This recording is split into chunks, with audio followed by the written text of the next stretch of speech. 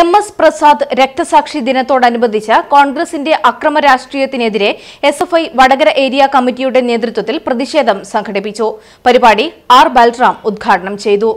ജില്ലാ vice president Akhil area secretary Adil president Arul Ghosh എന്നിവർ സംസാരിച്ചു. പൂർണമായും കോവിഡ് പ്രോട്ടോകോൾ പാലിച്ചായിരുന്നു പ്രതിഷേധം സംഘടിപ്പിച്ചത്.